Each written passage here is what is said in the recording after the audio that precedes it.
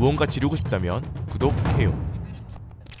자 오늘은 Razer의 인체 공학적 low profile이 적용된 고성능 무선 키보드 Razer DeathStalker V2 라인업이 출시되었습니다.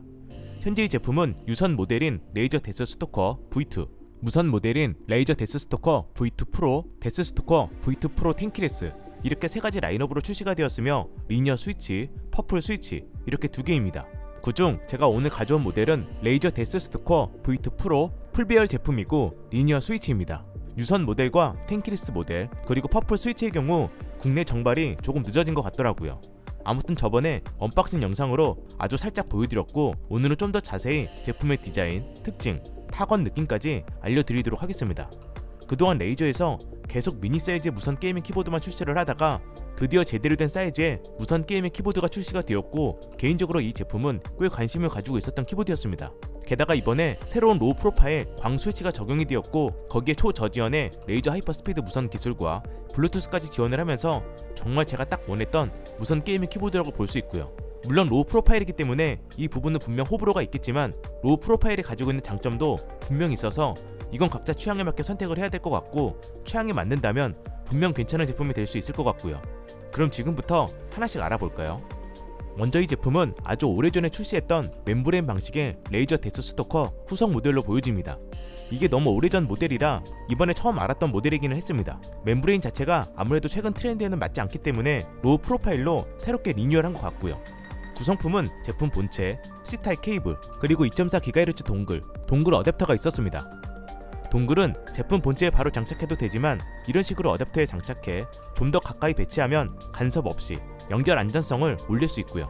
디자인은 진짜 딱 보시면 아시겠지만 너무나도 얇습니다. low profile 키보드답게 초슬림 디자인으로 제작이 되었고 상판은 알루미늄입니다. 키보드 상단 우측에는 회전이 가능한 미디어 롤러와 다기능 미디어 버튼이 보이는데 미디어 롤러의 경우 돌리면서 볼륨 조절, 누르면 음소거, 미디어 버튼의 경우 재생 및 일시 중지, 두 번 누르면 다음 곡, 세 번 누르면 이전 곡 기능을 가지고 있었습니다. 당연히 이 기능은 Razer Synapse에서 전혀 다른 기능으로 매핑이 가능하고 내가 원하는 기능으로 재설정 가능하고요. 그리고 이 모델은 2.4GHz Razer HyperSpeed 무선 연결이 가능하지만 블루투스 5.0을 통해 블루투스 연결도 가능하며 키보드 후면에 블루투스 기기를 빠르게 전환할 수 있도록 3개의 버튼이 따로 존재했습니다. 즉 3개의 장치를 페어링해서 사용이 가능하며 바로 옆에 있는 스위치를 통해서 유선 연결, 2.4GHz 연결, 블루투스 연결, 전환도 빠르게 가능합니다. 다만 이게 펑션키 조합이 아닌 물리적인 버튼으로만 전환이 가능하다 보니 한 손으로도 쉽게 사용이 가능하다는 건 장점이지만 후면에 있다 보니 버튼의 위치가 보이지 않아 조금은 애매하긴 했습니다. 그래서 팁을 드리면 F2, F3, F4 버튼 바로 아래쪽에 배치되어 있으니 F2키를 기준으로 1번, 2번, 3번 장치 변경 버튼을 기억하시면 좀 더 편하게 전환이 가능했습니다. 그리고 전환 시 delay 체크를 해봤는데 대략 2에서 3초 정도 걸렸고 생각보다 엄청 빠른 편은 아니라서 아예 delay 없이 전환은 불가능하다고 보시면 됩니다. 살짝 아쉽긴 하네요. 또한 최신 모델인 만큼 당연히 Razer가 그동안 강조했던 multi pairing 기능도 지원하고 있어서 하나의 dongle로 두 개의 장치를 각각 연결할 수 있습니다. PC에 USB 포트가 부족할 경우 이건 꽤 유용한 기능이라고 볼 수 있고요. 참고로 dongle은 키보드 바닥면에 따로 보관함이 있어서 보관할 수도 있었습니다. 키보드 바닥에는 5개의 미끄럼 방지 고무 패드가 있었고 총 3단계로 높이 조절이 가능했습니다.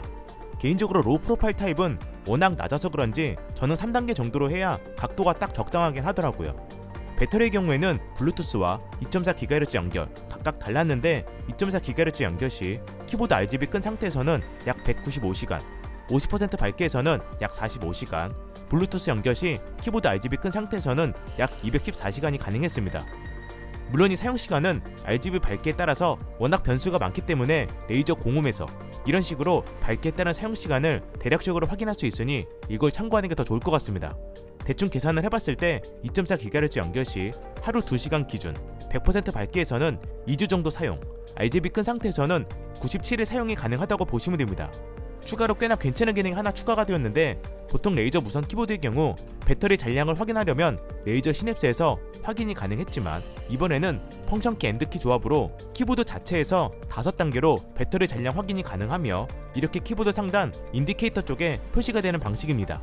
즉 평소에는 키보드 indicator 역할을 하고 있지만 function키 end키를 누르면 약 5초간 녹색 LED로 변경이 되면서 대략적인 배터리 잔량 확인이 가능해졌습니다. 물론 정확한 숫자로 표시는 안 되지만 이거 하나가 은근히 유용했습니다. keycap은 당연히 low profile 키보드답게 이중 사출 ABS 키캡이며 제가 받은 제품은 본사 쪽에서 받은 제품이라 영문 각인이지만 실제로 국내 정발된 버전은 한글 각인된 제품입니다. 다만 한글 각인의 경우 이중 사출이 아닌 아마 레이저 각인이지 않을까 생각이 됩니다. 그리고 이번 ABS 키캡은 일반적인 ABS keycap보다 더 내구성이 증가되었다고 하며 별도의 ultra durable 코팅 처리, 더 날카로운 레이저 에칭 처리까지 되었다고 합니다. 또한 ABS 키캡이지만 코팅 덕분인지 지문이나 얼룩이 확실히 덜 생겼고요. 이번에는 가장 중요한 스위치를 확인해 볼까요? 이 제품에 탑재된 스위치는 Razer의 새로운 low profile 광 스위치가 탑재되었습니다. 즉 일반적인 low profile이 아닌 광 스위치이기 때문에 내구성 또한 약 7천만 회의 더 높은 수명을 가지고 있고 작동 높이 또한 더 짧아져서 반응 속도도 더 빠른 스위치라고 볼 수 있습니다. 실제로 모든 Razer 스위치 중에서 작동 지점이 1.2mm로 가장 짧은 스위치라고 볼 수 있고 45g의 키압, 실리콘 댐퍼까지 적용이 되어 일반적인 linear 스위치보다 훨씬 조용하고 쫀득거리는 타건 느낌까지 가지고 있습니다. Huntsman V2 linear 스위치랑 비슷한 스위치라고 보면 됩니다. 물론 low profile 키보드 특성상 일반적인 keycap보다 keycap도 상당히 얇고 스위치 자체도 작동 거리 자체가 매우 짧기 때문에 타건했을 때 느낌 자체는 호불호가 조금 있는 편인데 low profile에 가지고 있는 장점 중 하나는 짧은 입력 거리 키보드 높이 자체가 낮기 때문에 손목 받침대 없이도 장시간 타건이 가능하며 그로 인해 손가락과 손목의 피로감이 상당히 적은 편입니다. 키보드 자체가 얇아서 휴대가 좀 더 쉽다는 부분도 있고요. 그래서 이건 취향의 차이로 봐야 될 것 같고 좋아하시는 분들도 꽤 있습니다. 그리고 stabilizer는 확인을 해봤는데 별도의 공장 윤활 처리는 되어 있지 않았습니다. 그럼 타건 소리를 한번 들어볼까요?